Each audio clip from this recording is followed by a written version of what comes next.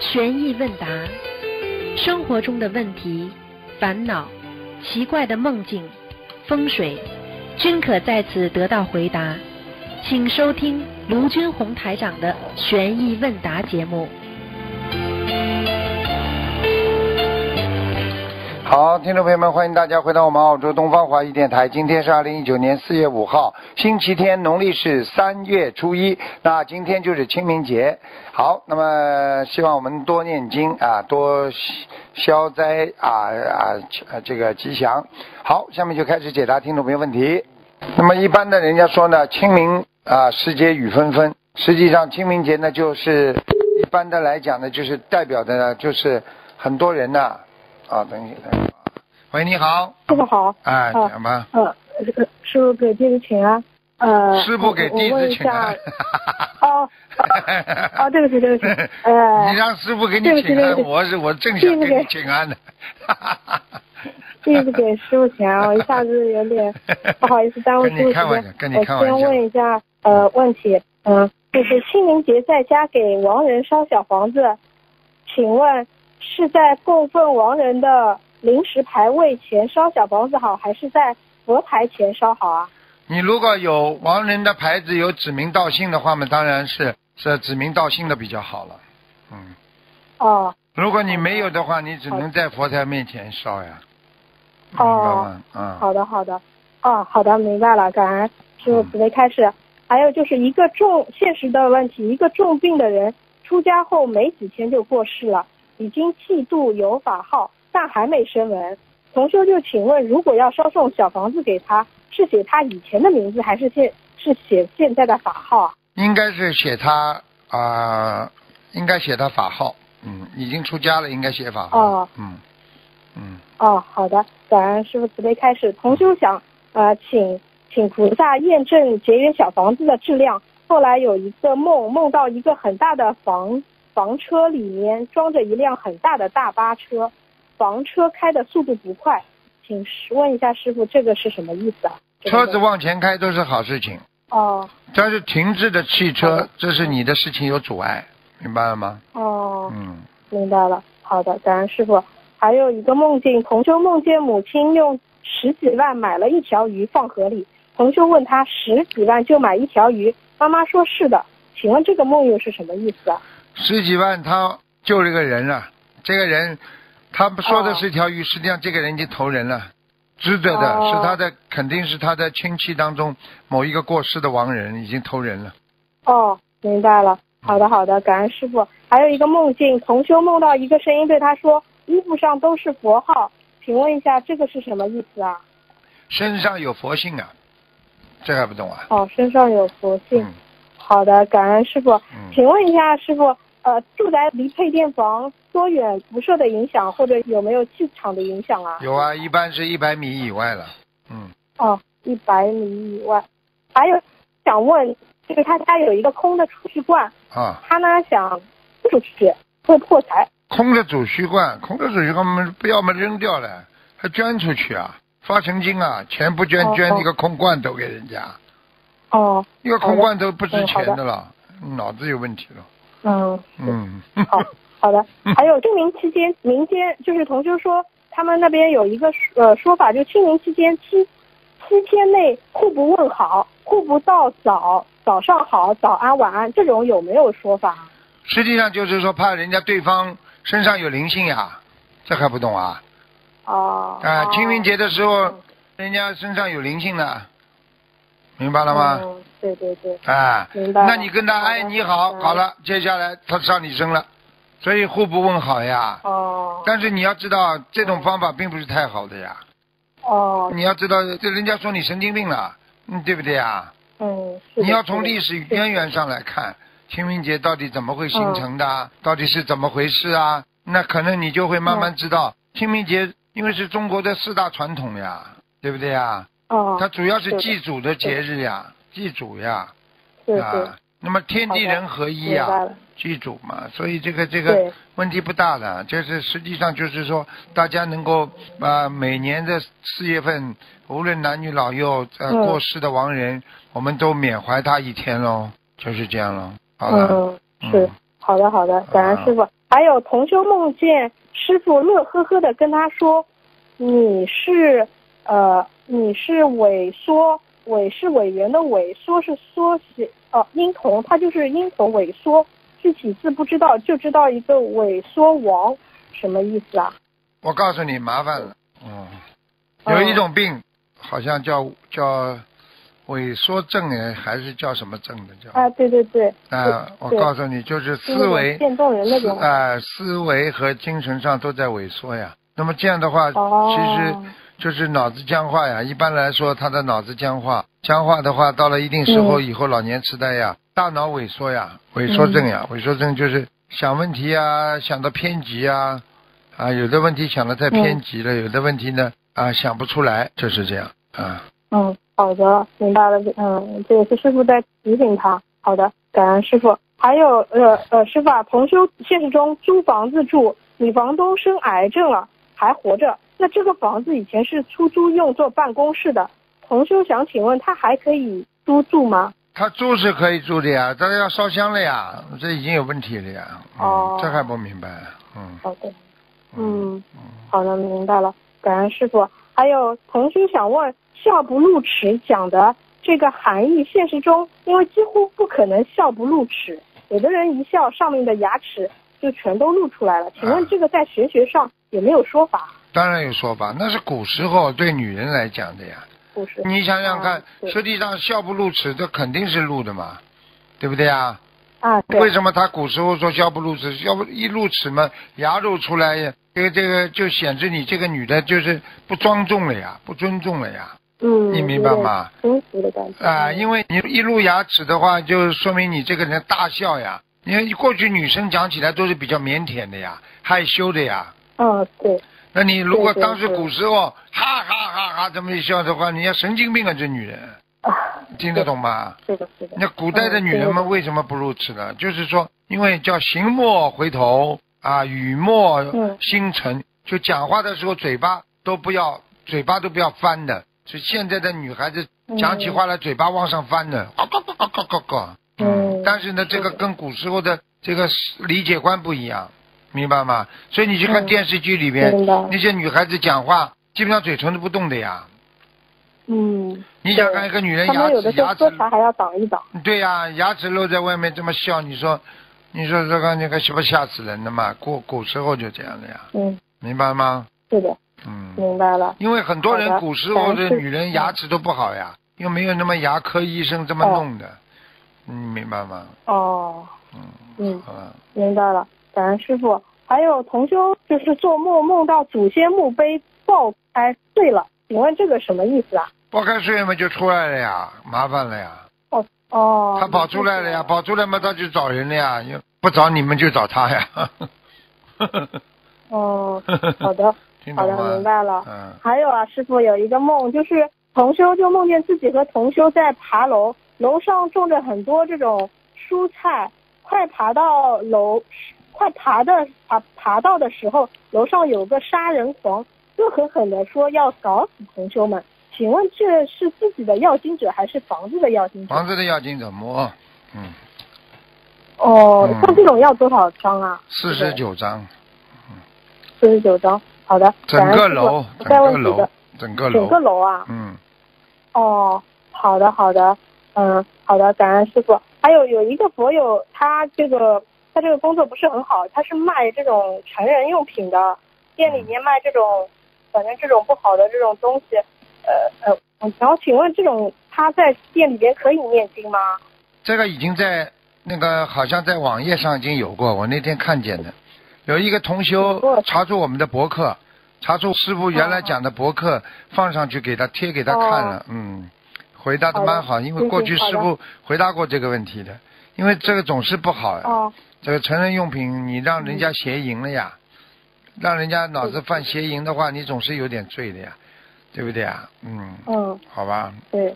好的，我到时候查一下。还有呃，感恩师傅，还有同修梦到与女儿放生，梦里但放的是花瓶，女儿怕摔碎，站在水里慢慢把花瓶放下，这个又是什么意思啊？慢慢把花瓶放下是吧？要当心了，这心中有一样东西放不下呀。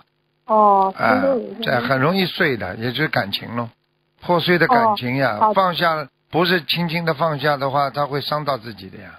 碎掉的话，它就在里边就伤害自己的心呀。嗯嗯，好的，明白了，感恩师傅。还有就是现实中同修他想招一名员工来应聘的人的父亲刚去世，如果把这位招过来，这个对公司有没有影响？没有什么影响，最好嘛就不刚刚死招进来，那当当然有点影响。死过一段时间嘛就无所谓。哦，嗯，好的好的。还有就是呃，同修请别人。呃，帮忙带放生嘛，然后他就梦到江边坐着一位穿黑衣的人，衣服的帽子盖在头上，有点像老巫婆。那这个放生怎么就不好了？当心点了，放生有一点不如理不如法。嗯。哦，放生有一点不如理。假呀，巫婆们就是假的呀。嗯，对的，对的。好的，呃，我我我再问一下，就是呃，一般就是就像这种，一般可能是前世所欠的这种。化解化解和钱财相关的官非嘛？师傅之前好像他开始说需要给对方念心经和礼佛，请问师傅是否还要给对方的律师念心经和解结咒啊？这种有必要吗？用不着的吧，嗯，自己好好念念就可以了，嗯。哦，好的。你给对方念的话，他身上有业障有灵性，他来找你。哦，好的，好的，明白了，好。感恩师傅，今天的问题问完了，他们自己的业障自己背。好，感恩师傅啊，师傅再见啊。喂，你好。Hello。打通了，你怎么不讲的啦？哦，刚才有个我们在讲对方造起了。没有听到。你两三个电话一起打。啊？你两三个电话一起打，你讲吧。不止哦，台长，不止两三个哦，台长一个听，这样会点看一下就知道了。五六个电话一起打，厉害。讲吧。五个五六个太太少了，台长太少了。太少了。啊。不然很难打，台长电话越来越难打。台长。啊。帮同学解个梦，台同学呃，等下我看能不能开到一点。台长，同学梦到。很高又破又旧的鞋，他把鞋全部丢掉，这个梦好吗？那是好梦呀，把鞋都丢掉的话，就说明把邪气去除邪气呀。啊，嗯，好梦啊！同时梦到一只很大的壁虎，这个这个壁虎和那个鳄鳄鱼一样大，这种好吗？一个壁虎和鳄鱼一样大的话，那就是有麻烦了，那是跟他自己跟跟那个一些呃高空作业啦。或者空中的东西麻烦有关系，叫他发这种短信啊，要当心啊。过去有一个人做梦做到一个飞虫啊，老盯住他，结果他就是手机里发的短信出问题了，结果就这个手机害得他啊吃官司了，听得懂吗？哦，这哦这这种是不好的梦。因为凡是飞得高的都不行的啊，那么就上面空空气方面的东西啊。哦哦，明白，台长。如果问问图腾看盲人，我忘记问台长要多少小房子，这个要如何开呢？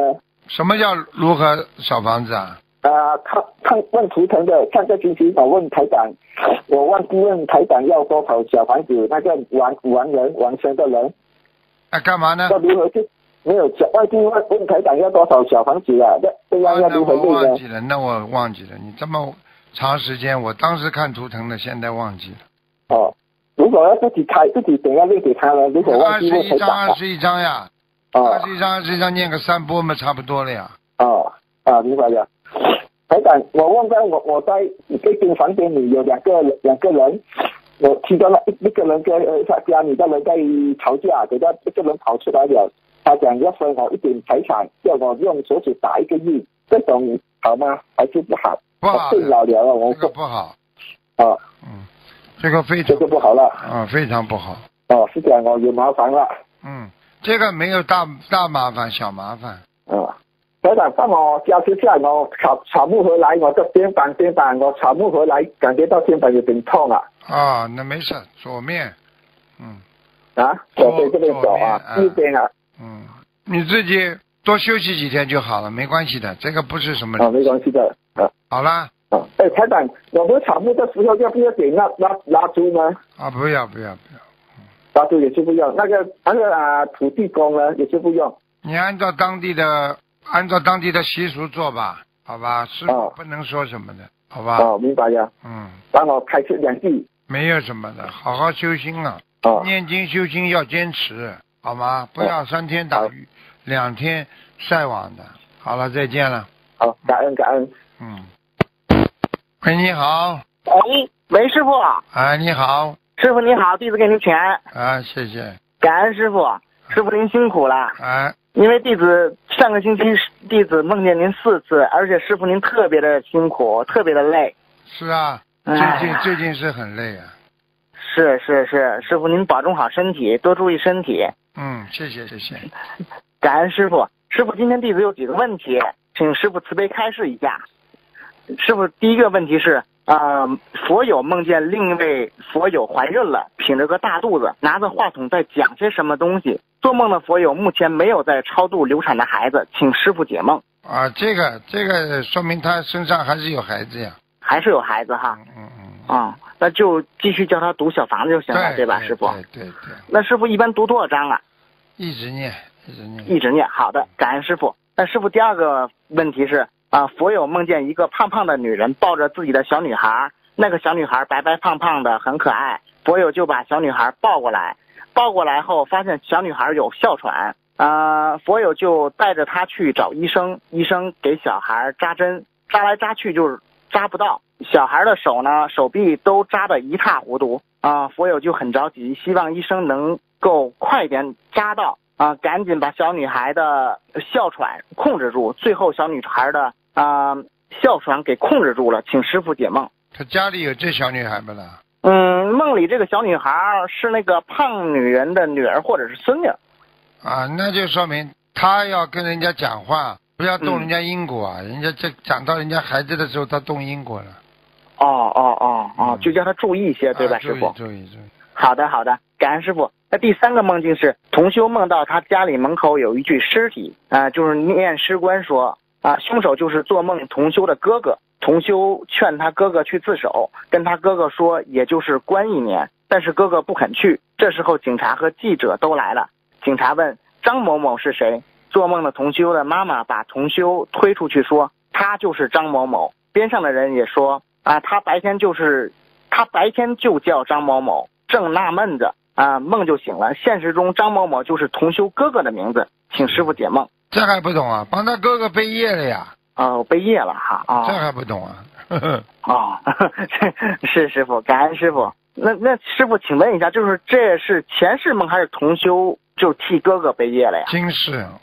今世哦，好的好的，感恩师傅。师傅啊，我念一个分享吧，师傅您休息一下，好，好吧，好，感恩师傅啊。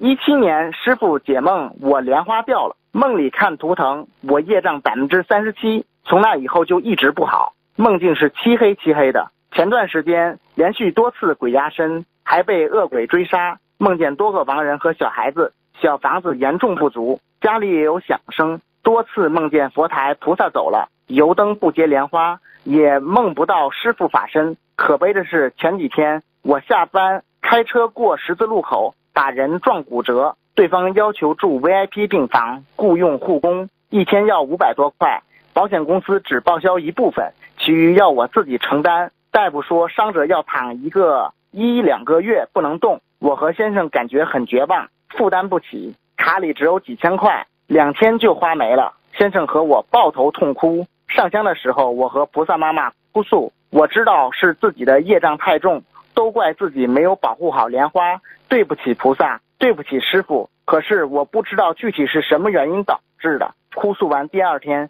奇迹出现了，师傅在东方台慈悲帮我看图腾，并加持我说第二天就会好起来。果真第二天起来，精神抖擞。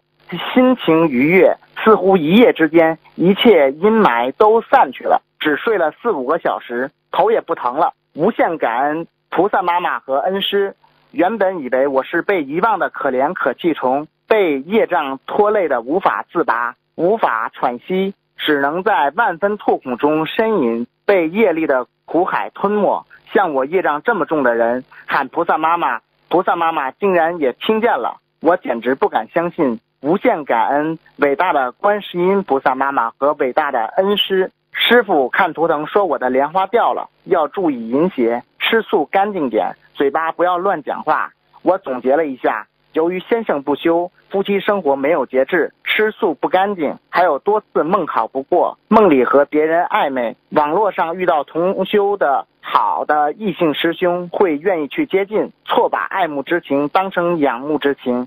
自己都不知情的这种错觉感受，已经是犯了淫邪了。有次睡前看韩国电影，男演员的男演员的形象一直在脑子里。当晚有夫妻之事，形象也没散去，犯了严重的淫邪。这就是师傅说不让乱看的原因。我发愿一年内不再主动看电影电视剧，做到后继续许。这些太害人了。重修自己没有彻底忏悔，没有彻底改毛病，业障太重。最终没有功德了，托不住莲花。最珍贵的莲花，由于自己没有严谨守戒，没有努力修行，没有如履薄冰，掉了。博友们，我就是一个反面教材，希望能警醒师兄们，好好保住自己的莲花，不要不以为然的修行修心，不要以为没有报应，种因得果，丝毫不爽，连意念都要控制好。修行真的是如履薄冰啊！我错了，真的错了。对不起菩萨，对不起师傅，我深深的忏悔，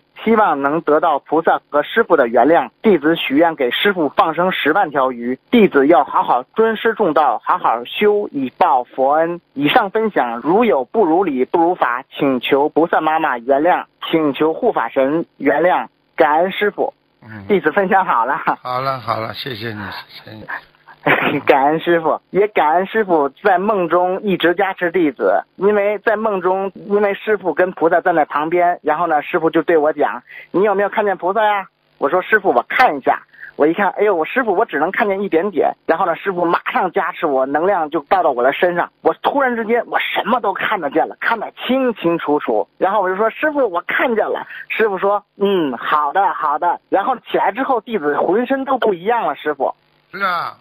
就是这样，一个人得到加持和没得到加持，那是两个概念的，明白了吗？嗯，明白，师傅。好了，也感恩师傅，你请师傅稍等一下。师傅你好，弟子给师傅和观世音菩萨请安。啊。请师傅照顾好身体。好。嗯，早点睡觉。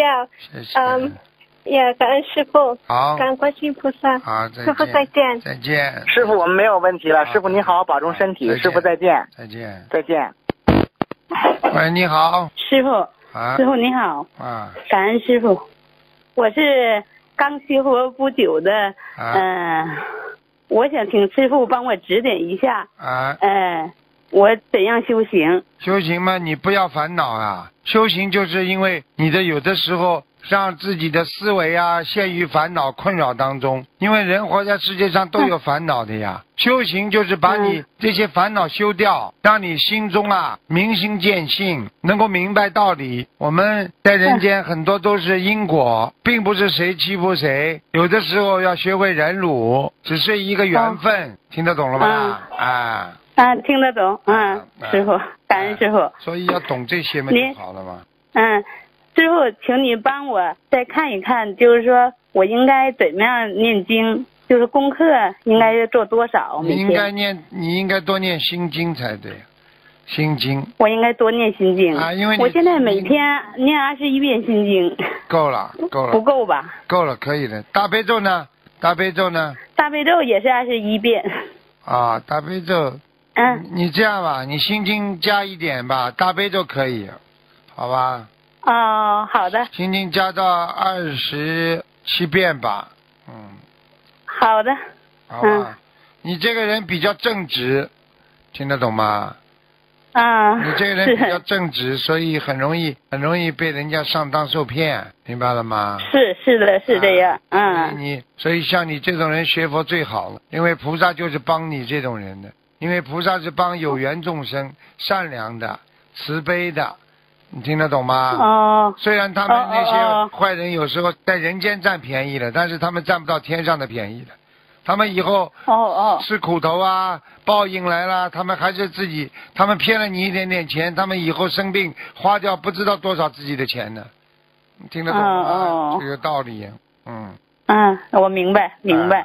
嗯。是我平时就是呃，以前虽然学佛，就是了解佛的知识不太多，但是呢，我总是做着就是人应该是善良，嗯，就是本着善良的心啊，对待身边所有。学佛不单单是善良，学佛要懂得这个世界啊，要看穿苦空无常，所以不要去争，不要去抢，然后慢慢的呢，自己就放下了。因为你在人间，你就是把自己在人间弄得再好，因为人的最后的终点站，它总归是死亡。所以菩萨就是让我们要看穿，不要在人间去把时间花在无谓的啊那种自私自欲啊，让自己生气啊、烦恼啊、嫉妒当中，让我们懂得帮助别人，那么才是菩萨的理念，对不对呀？哎，好，对对的，对，嗯。嗯，好，我以后听师傅的指导啊。好吧。谢谢师傅，感恩师傅。啊，再见。嗯，再见。好，喂，师傅，等一下，对不起。啊。呃，问 问师傅几个简单的问题。啊。呃，同修已经许愿吃钱树了，最近去乡下买了十几个土鸡蛋，他也不知道是不是没受孕的鸡蛋。吃的时候有一个鸡蛋里面有血丝，他赶紧把血丝弄出来了。第二天早上梦见自己。呃，就是梦到自己吃肉，梦考没有过。他请问是跟这个土鸡蛋有关系吗？应该是的。现在实际上呢，为什么？因为鸡蛋有一种是受孕的嘛，喜蛋嘛，对不对啊？还有一种就是没受孕的。但是现在很多都是机械的养鸡方法，都没有怀孕的，所以基本上鸡蛋是给我们吃的。但是如果你眼睛就看见了，你就不应该吃了，明白了吗？哦，嗯，嗯，那他剩下的土鸡蛋应该怎么处理？可以给家人煮着吃吗？可以，可以，打开。如果都像这种，如果你觉得怀疑有没有里边有血丝的话，有可能你就念几遍往生咒就是了，好吗？好的，感恩师傅，请师傅解梦。同修梦见公鸡下了三颗像鸵鸟那么大的鸡蛋。公鸡下蛋，呃，可能这个公鸡长得有点像母鸡，啊，就是这个母鸡长得有点像公鸡吧。嗯，呃，那他梦是好事对吗？这个下蛋总是果报呀，就是果呀，总是好的呀，明白吗？嗯，你说明白，感恩师。母鸡不会打鸣，公鸡不会下蛋，那是天律呀，啊，明白了吗？嗯。哦。你叫哪个男人去生孩子？生不出来的呀。嗯。哦，好的，恩师傅。同修家大门外有一些台阶是黑色的，想在上面铺个红毯子，可毯子太高，门关不上。请问可以在家门里面铺个红毯子吗？可以啊，可以。嗯。黑色的台阶是不是不太好？那当然不好了，黑色的走向深渊呀，赶快要油漆呀。哦。明白了，感恩师傅。同修梦到过世的母亲的膝盖上躺着一个刚出生的婴儿。这还不懂啊？妈妈虽然在下面死了，但是她的她是打胎的孩子，这个业还没消掉呀。哦，那现实中同修许愿四十九张小房子，再次超度打胎的孩子，同时当天也是母亲的忌日，也在给过世的母亲念小房子。啊，对呀，就可以了。那婴儿是母亲的还是同修的？婴儿应该是，他就是在他母亲的膝盖上，应该是母亲的呀。感恩师傅，那念小房子是敬赠给母亲就可以了，是吗？嗯。好，感恩师傅。呃，一位妈妈梦见儿子把财神菩萨放到了妈妈供奉的佛台上，并且拜财神菩萨。现实中，妈妈仅供着我们的观世音菩萨，儿子在卧室墙上挂了一尊财神菩萨。曾经劝他把财神菩萨请下来，或者好好供，但儿子不听，请师傅解梦。哦，这个很清楚了，这个就是叫他儿子把那个像要供到他妈妈那里去呀。财神菩萨不愿意在他儿子这里的，你告诉他儿子，如果再再这样的话会有麻烦的呀。好的，感恩师傅。呃，一位男同修梦见一个小孩在医院坠楼了，他爸抱起小孩送进抢救室，抢救无效死亡，家人痛苦的哭了。现实请师傅解梦，孩子超度走了没有？啊，嗯，那麻烦了，嗯，小孩子又到下面去一层。哦，就是还是要继续超度。对呀，又往下跑了呀。好的，感恩师傅。同修请菩萨验证结缘小房子的质量后，梦到一个很大的房车里面装着一辆很大的大巴车，房车开的速度不快，是吧？嗯，那这个好事情刚刚有人问了，就是这个就是好的。我刚刚讲过，凡是汽车在开都是好事情。嗯，那就说明小房子的质量还是可以的。对，好的，感恩师傅。嗯。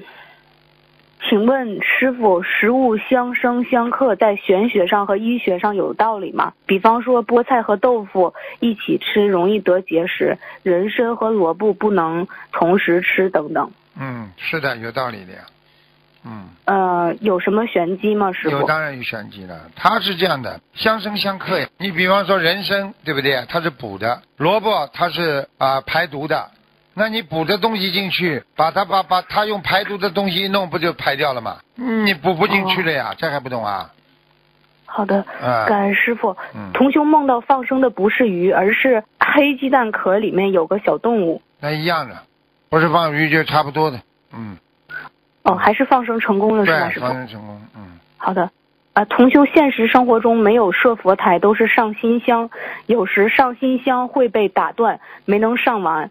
这之后呢，他就梦到在某地路边的地下设佛台，他走很远去那里给菩萨跪拜，地上垒了很多石头，意念中是拜殿，他在上面磕头。请问是不是他上新香不如理不如法？对，要当心点。要念，当心点。嗯。哦，需要念多少遍礼佛大忏悔文？解节奏，礼佛念个。你佛念个二十一遍了，姐姐咒要念一百零八遍。好的，呃，感恩师傅，呃，请师傅开示我两句。两句，两句。一句第一句胆子大一点，学佛人要胆子大一点，明白吗？好的。好吧，要干净，啊，胆子要大干净。第二呢，要有完全全心全意的去相信观世音菩萨。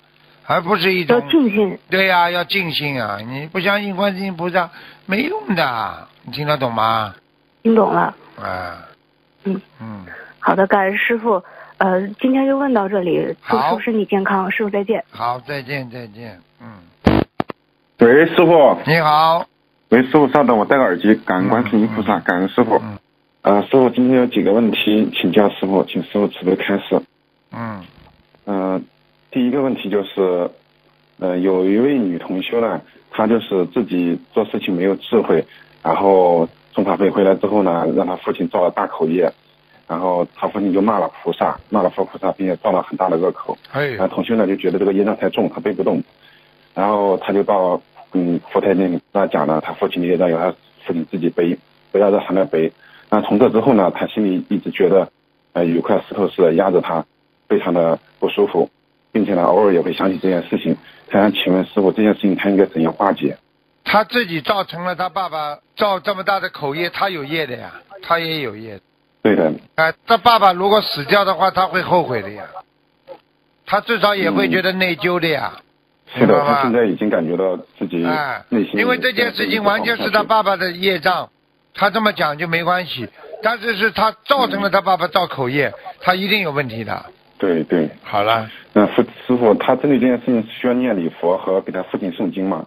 要的，诵经嘛就跟他讲好了，一共烧多少张小房子，化解他爸爸的恶缘喽，就是这样。造口业的恶缘。哎，好吧。好，感恩师傅您慈悲开示。师傅还有一个问题就是，这位同修呢，他现在嗯家庭生活也不是很好，他跟他先生呢一直是嗯聚少离多，然后呢现在。他先生呢和他的公婆呢非常的反对他学佛，并且呢这个师兄呢经过我们劝导之后呢，他也认识了自己的错误，然后也声泪俱下的跟他们公婆道歉，还有跟先生道歉。那先生呢先生能接受他，但是不接受他学佛，啊，所以呢他现在就说他要信佛就提出离婚，不信佛呢就可以再往下谈。然后他现在许愿了一万遍解结咒和一百零八遍礼佛，四十九张小房子，请问师傅这样能化解吗？他现在。那请师傅开示一下。他选择了这种事情，只能选择了，嗯，对不对？嗯。你要我我是不发表意见的，你可以问问你们，你好了，你是选择哪个？你你 你你你作为你讲起来，你也是有智慧的人，你是怎么选择？我没智慧。你没智慧，你怎么选择呢？嗯嗯。对不对啊？明白，我知道我。嗯。我有些时候我不能讲什么的，我就是告诉你们，你选择学佛，你肯定要放掉一些东西。你选择爱小家，那么你当然就应该放弃佛法了。你如果放弃佛法的话，你自己内心有亏没亏啊？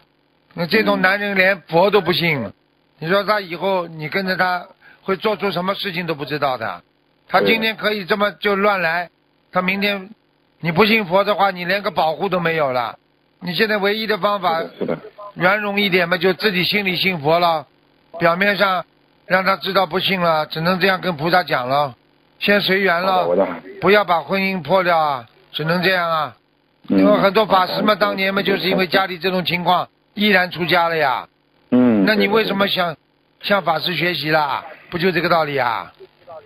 嗯。好了。明白了，感恩师傅，你慈悲开始。师傅还有一个问题，就有位同修，他想请教一下，无私和无我是有区有什么区别？无私小呀，无私嘛，就是只不过自己心中不要有私心呀。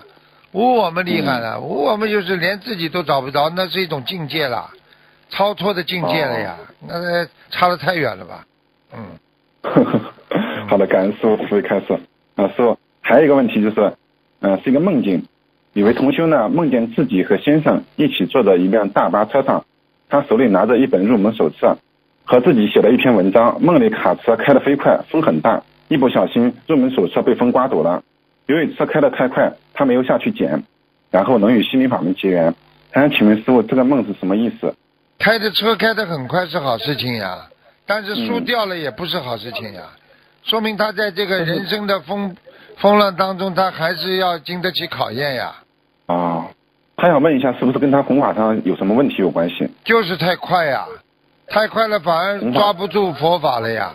哦，就是不能盲目是吧？对呀，你做人做学佛。劝人家都要一步一个脚印的呀，嗯，就不能适得其反。对，好的，感恩师傅慈悲开示。最后还有一个问题就是，有位同学要请教师傅，呃，师傅常说的如如不动和八风不动是一回事吗？如如不动，八风不动嘛，实际上个形式不同呀，怕。八风吹不动嘛，也就是说名利啊，名闻利扬啊，不管有什么名啊利啊来了，我都不会动的呀。实际上是指的更具体一点，如如不动嘛，就是说这些都包含里边了呀。不管发生什么情况，我都不动摇呀，就是这样。嗯，明白了，感恩师傅您慈悲开示。师傅还有一个问题就是，有位同修早上五点多梦里出现“护众忠告”四个字，护是那个护法神的护，众是呃重量的重，忠是呢中心的忠，告是呃告诉的告，护重忠告四个字。他想请问，是不是护法在提醒他做的事情不如理不如法，还是怎么回事？对的，对的，绝对是。跟他早上贪睡有关系吗？他最近起不来。有可能的。他过去如果每天到时间很早起来念经啊、修心啊，他现在这么不好好努力，那就有可能，完全有可能。啊，好的，感恩师傅慈悲开示。师傅还有个问题，我是我个人的问题，想请教师傅。师傅就是佛子天地有宗啊。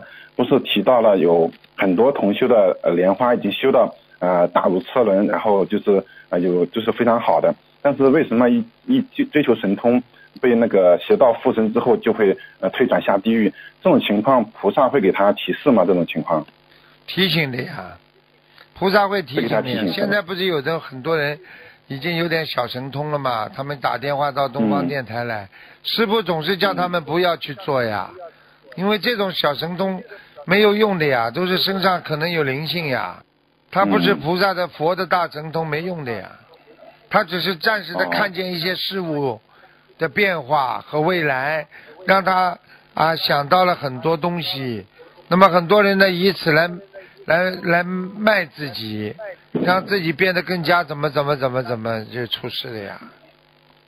哦，明白，感恩师傅。那我们还是要好好修，不要追求神通，一步一步个脚印的修。对，嗯嗯。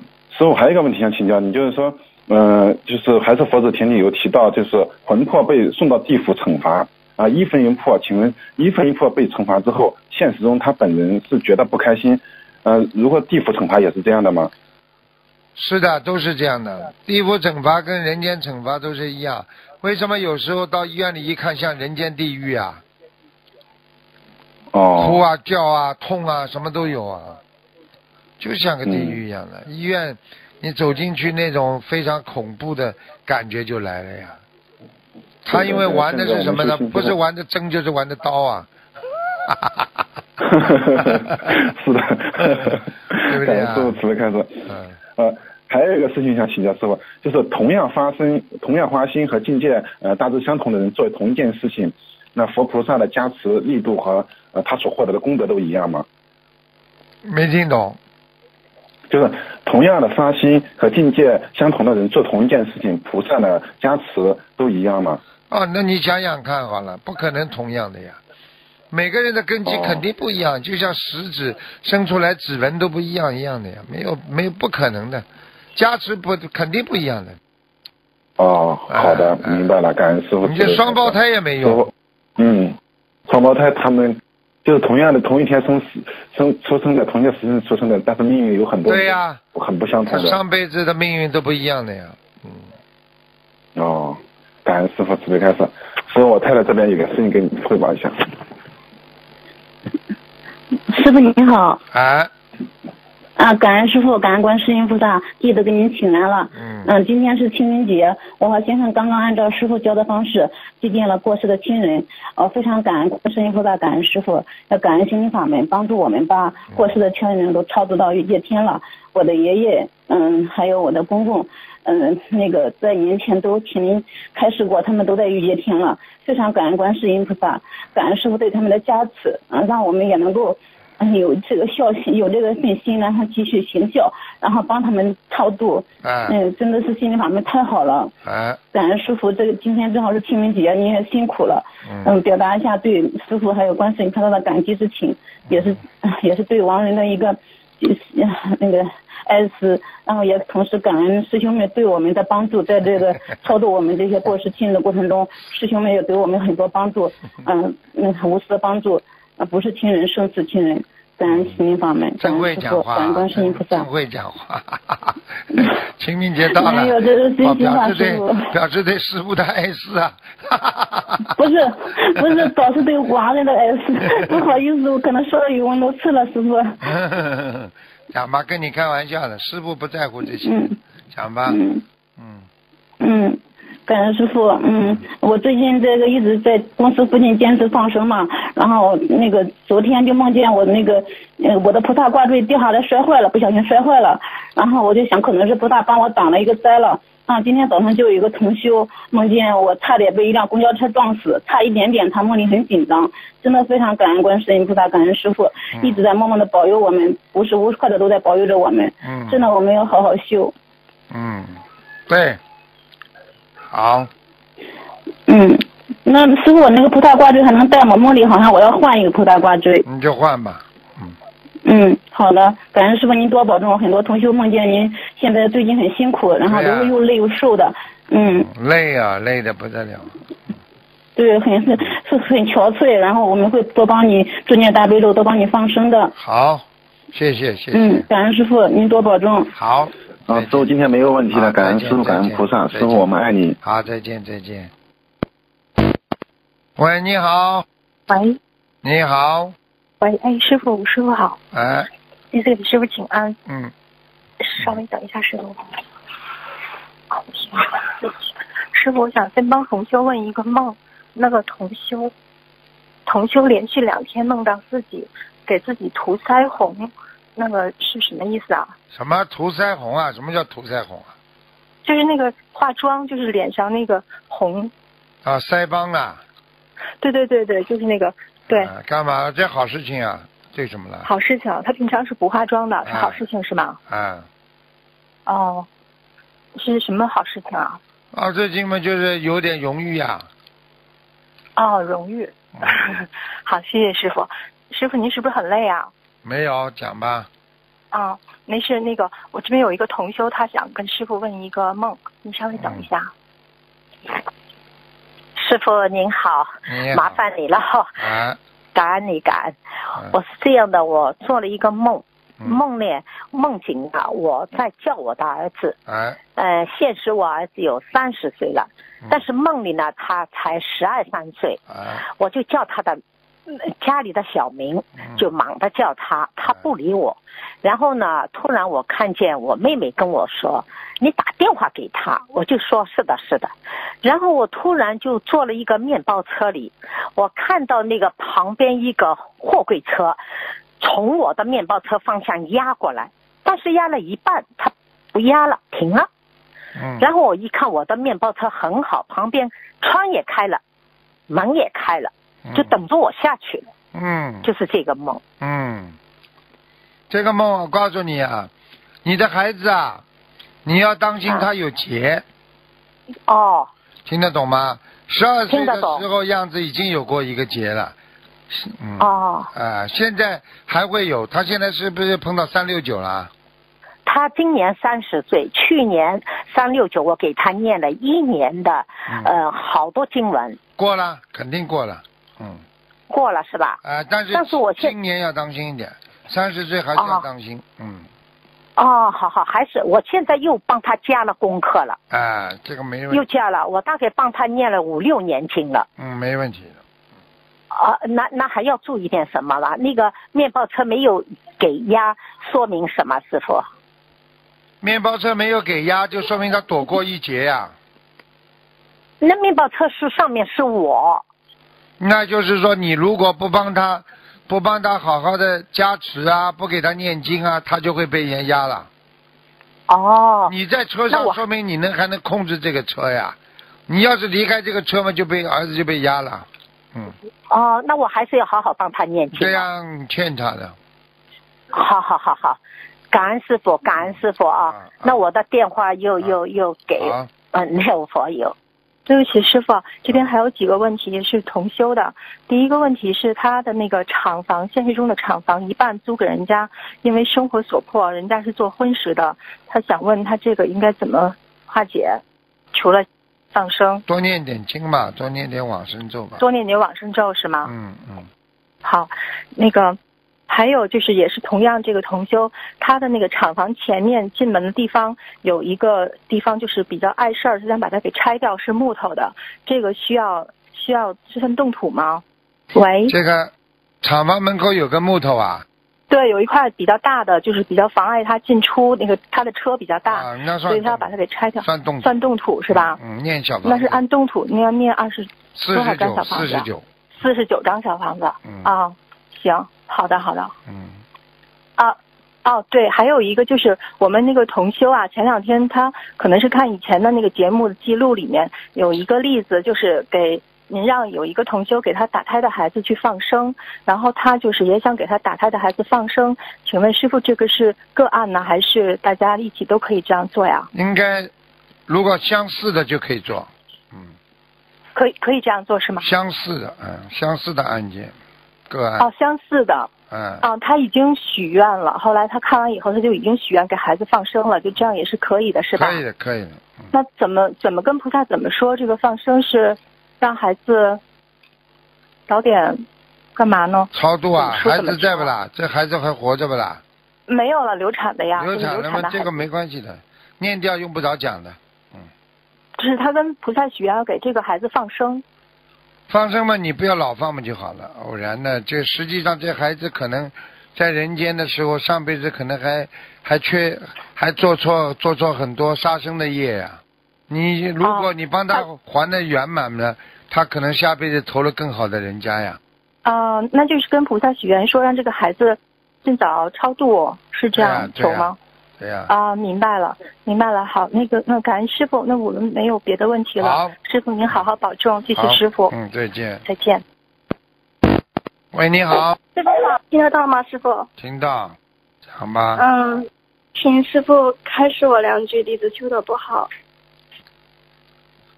修的不好嘛，就是没有信心呀，连自己都战胜不了自己身上的毛病，那不是脑子又坏掉了？嗯，是。一个人连自己都战胜不了自己的毛病，这个人还算人不啦？不算。那好啦，你就看看抓进去的都是控制不住的人。你要学佛的人，你就得学会控制自己，不能做的坚决不做，不能看的坚决不看，不能说的坚决不说，不能想的坚决不想，那才叫控制啊！有什么出息啊？开始几句，什么东西都是人间的东西，你修得好的。嗯。听不懂啊？听得懂。好啦。喂。嗯。哎，好，感恩师傅。你在干什么？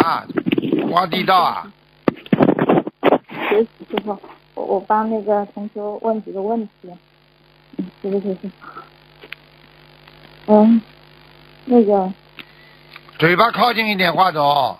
啊，对不起，师傅。讲话就有忧郁症了。那个，请师傅帮忙解梦。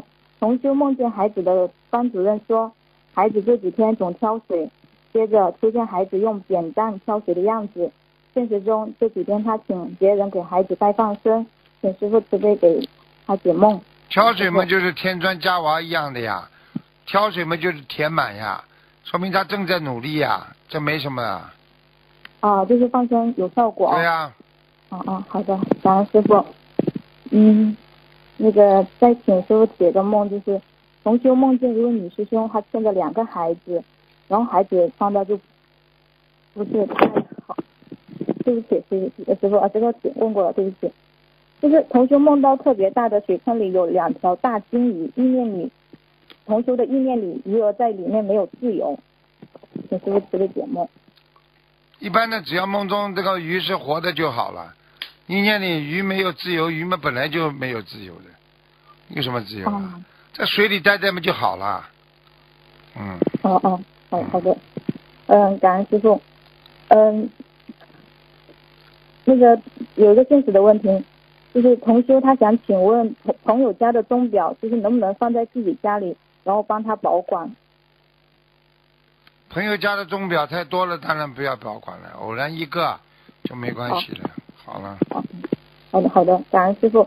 嗯，就是在那个菩在菩萨的成就是日子里面，就是大日子可以献血吗？可以什么？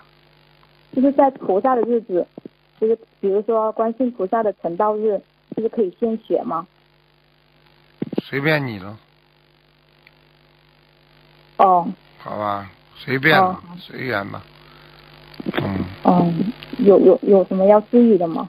没什么要注意的，献血嘛总算一件好事情，对不对啊？但是献血嘛就是要付出的呀，浑身会无力啦，血嘛也是属于人的精华之一呀，对不对呀？你要救人嘛，你总归要付出的呀，就是这样，师傅救人也付出的呀。好了。嗯，师傅辛苦，你最近也是梦到师傅，就是很累，很累，很累。我看你讲话比我还累呢，讲话都讲不清楚了。好了，讲下去吧。哦哦，好的，感恩师傅。嗯，这个有有一个同学他说，嗯，就是如果是很深很深的恶缘的话，他想请问师傅，就是需要念化解冤结的小房子给对方，还是？念要经者的小房子给对方比较快，要经者比较快，但是还想说说这样念给要经者是不是容易比较容易背业呢？念给要经者不一定的，你给他多少张，你写跟菩萨讲呀，我给某某某要经者念多少张小房子就可以了，就说明你只是还他这一点，你如果不讲的话嘛，他就叫你还更多呀。哦哦，好好好的，感感恩师傅，我明白了。那个再请师傅解一个梦，就是同学他梦见有一个声音跟他说，帮你们家放生的孩子为你们背业了，现在变成了居士。现实中以前也，就是这父亲在世生病的时候，的确有请师兄带放生。他想请问，就是梦里面说变成居士是什么意思呢？变成居士嘛，就是有过世的亡人，因为。通过放生，他得度了呀，可能投胎了呀。哦，不是说就是帮父亲放带放生的孩子。的问题吗？父亲对孩子如果感情很好的话，他带放生，他要自己看一看。如果感情一般，而且没有这个人了，那人家爱怎么放就怎么放了。哦，好，好的，好的。嗯，感恩师傅，明白。那个再请师傅解个梦，就是同学梦到四个孩子在玩耍，后来就有一个小男孩在自己家床上玩，他想知道就是需要超度的流产的孩子是一个呢还是五个？超度的孩子干嘛？就是他梦到就是有四个孩子就在外面玩，就在家里外就在在。住的外面玩，没有在家里。然后有一个小男孩就跑到自己家的床里面玩。他想请问他是超度的孩子是一个还是五个？五个。哦，好好的，感恩师傅。就是还有一个同学就说，现实中有几串佛珠是师傅开过光的，放在夫妻房的白色袋子里。然后他在夫妻房做了不好的事，他想请问礼佛要念几遍？还还可以结缘出去吗？这些佛珠？等等啊，继续念呢，小房子不停的念，嗯。哦，念礼，他他想问，他说礼佛。教他念礼佛呀，教他的那个两个朋友帮他念大悲咒心经呀。哦，那他那个佛珠，他说还可以结缘出去吗？多大的？他没说多大，就是啊，那尽量能供嘛，尽尽量自己家里的佛跟了这么长时间了，能供就供了。不是，是佛珠，对不起，师傅。佛珠是不啦？嗯，对，佛珠。佛珠一样，放在放在佛台上。哦，就是在请在请菩萨加持上。哦，好好的，感恩师傅。嗯，对不起，师傅，今天先问到这里。好。然后想在后面的时候，想请师傅给弟子开示。好，再见，再见。那好吧。开这两句啊，开这两句，好好修心，脑子不要糊涂，听得懂了吗？好了好了，再见了。好的，师傅。哎，叽里呱啦的，嗯，这个不要乱动话筒。喂，你好。喂，你好。喂，你好。喂。喂，师傅好，弟子给师傅请安，感恩师傅，感恩菩萨啊！弟子自己业障自己背，不让师傅师傅背。啊，师傅那一个就是同修梦到自己到那个阎王殿报道，然后结果给给那个退了回来，想请问师傅什么情况下会被退回来呀？你命不该绝啦，你罪不该当啦，都会退回来的呀。哦，好，呃，感恩师傅。嗯，下一个问题就是同修从睡着到醒来，一直脑中有四个字。就是究竟彼岸，想请师傅慈悲开示一下，究竟彼岸是怎么回事？这还不懂啊？你到达彼岸呀，彻底觉悟呀，达到究竟圆满呀。什么事情要到底呀，才能圆满，才能想通呀？所以我们中中华文化里边说了，你这个不到不见棺材不掉泪呀。听懂了吗？嗯，听懂了，感恩师傅。啊，师傅，下面有一个梦境，就这个梦境稍微有一点长，就是同修和妈妈他在街上遇见一个那个恐龙展，然后办展人他就说非常难得，然后澳洲还不让入境，通过委托在师傅的名下，官方看师傅面子才让入境办展，然后后来同修跟妈妈就到里面去吃饭，然后同修妈妈就看到笼子里关着一只很可爱的小动物，就非要买，这只小动物特别贵，就是有三百万澳币，然后合成人民币就十六万。然后同修就阻止妈妈不让买，他说就是说不如拿来交学费，然后之前自己养宠物不让养，现在就妈妈自己去养，就还说要告诉家里人，就是说同修不会打妄语，实话实实说，那个花了十六万，结果后来那个老板就说这个小动物可以活六个月，然后同修就特别生气，就感觉老板在骗人，就是说到底可以活多久，然后老板就说是四个月。然后最后妈妈和同修就在餐馆吃了饭，然后呃中午没有吃饭，老板娘也收钱了，就整个过程就感觉妈妈一直在被骗，想请师傅慈悲解梦。要当心点了，他妈妈就在骗人，就在骗人，就被骗是吗？被骗或者骗人，根据梦境是是成正比的，很多梦是成正比的，很多很多过去人家说反梦。是有反梦的，但是反梦不多的，不三分之一最多了，嗯。哦，那这样要帮他妈妈就念小房子嘛，因为他说那就背了。哦，知道了。嗯。嗯，感恩师傅。呃，师傅还有一个问题，就是说我们一眼是就师傅看我们的时候是给我们有加持，那不看我们是不是因为我们有业障没有光呀？一般的是这样的，不看你们，因为没看到你们。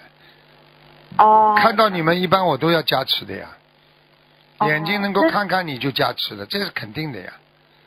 哦，感恩师傅。那如果没有光，师傅是不是就一般会看不到呀？